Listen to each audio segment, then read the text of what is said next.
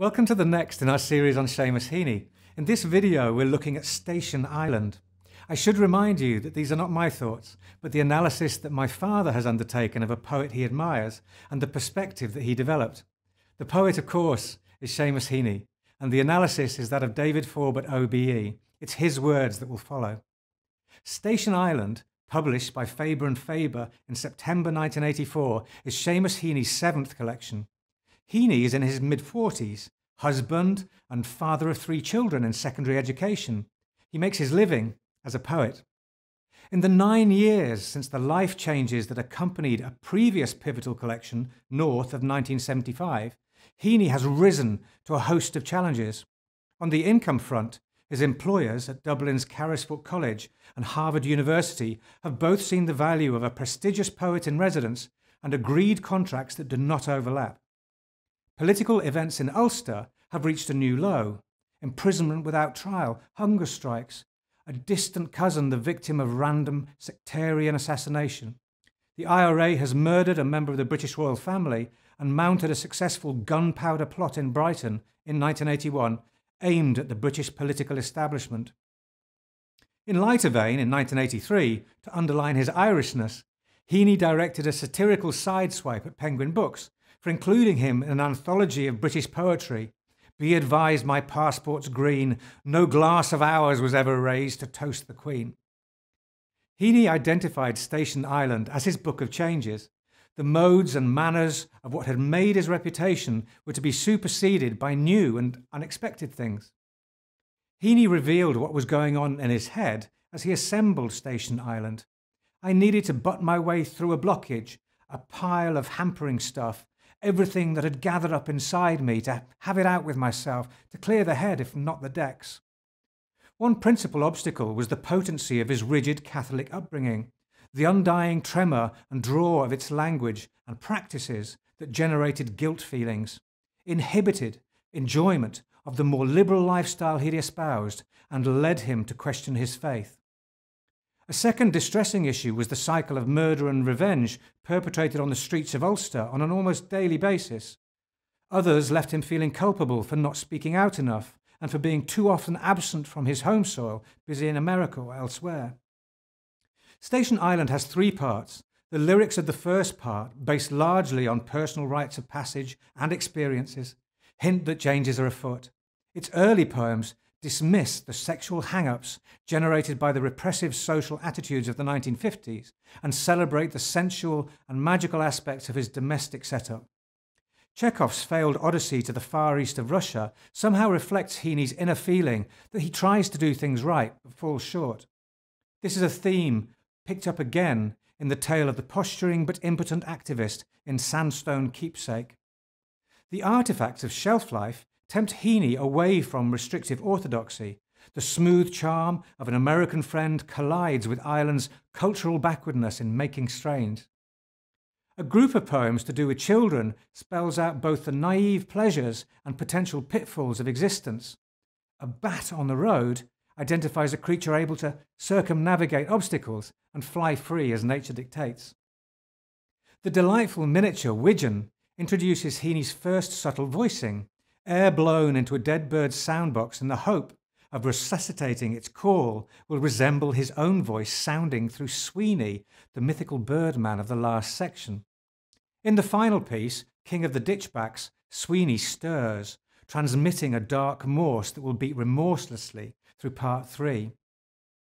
Station Island's central section reworks a three day expedition to Lough Derg, a Catholic pilgrimage site that Heaney undertook in his youth and brings the poet, now in his 40s, face to face with his much younger self.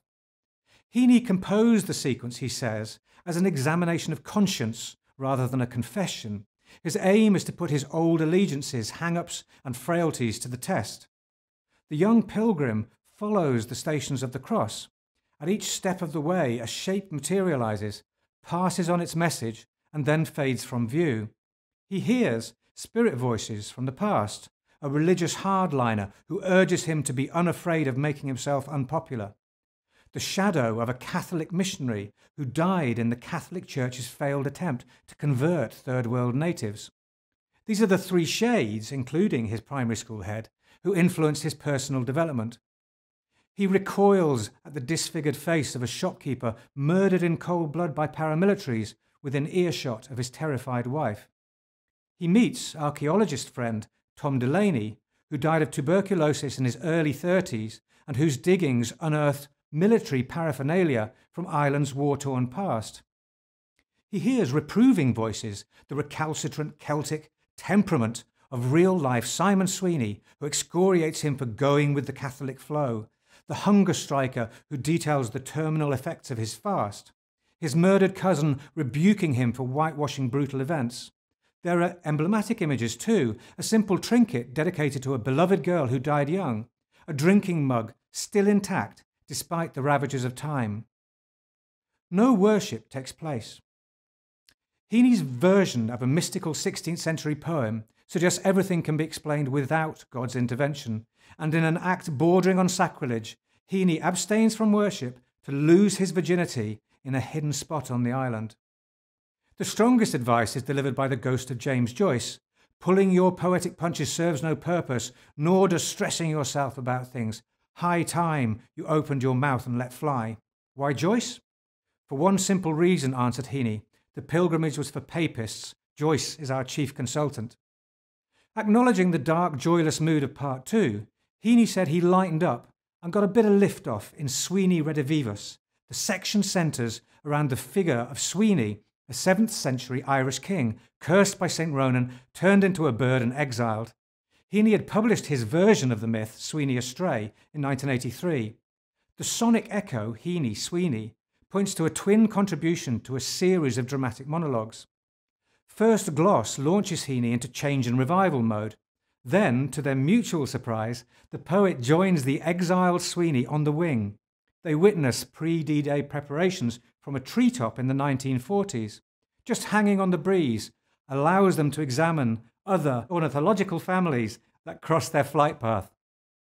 First Flight describes their individual moment of transfiguration Sweeney into a bird via a bishop's curse, Heaney into a new determination, having cleared away the hampering stuff dolloped on the roadway. As for what went before, a waking dream confirms that the Sweeney experience has changed everything, that old patterns will no longer work. Untangling the twine ball of his old existence takes Heaney a necessary stage further. In Illo Tempore, Heaney shakes his head in disbelief that the religious practices that shaped him as a youngster, that taught him to know his place, that have brainwashed him, could have endured so long. Henceforth, dishevelled observers in the branches may observe a woman bathing without guilt, yearning for things lost, a wife or a homeland, is deserving of sympathy. He depicts the organised church as a trampling invasion that took over both Irish people and their land comparing it unfavourably with the emblematic hermit figures of early Christianity, who chose seclusion compared with the dedicated monk scribes of the first millennium monasteries, whose copying of manuscripts carried the civilization safely through the Dark Ages.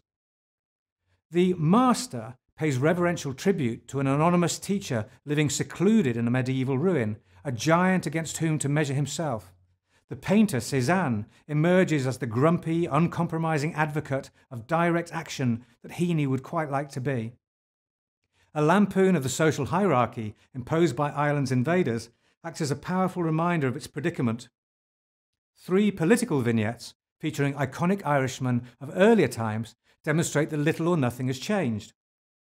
It was a vixen's call that opened the way to the world he and Sweeney are looking down on, and Heaney uses holly, the prickly pagan symbol that has survived, as a Christmas decoration to link the two worlds.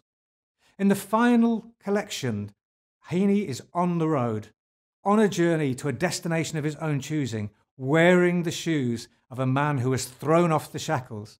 If you're excited by the presentation and wish to unravel this dense, intense collection, you'll get all the help you deserve at fawbert.com. Thank you for listening. We'll see you there.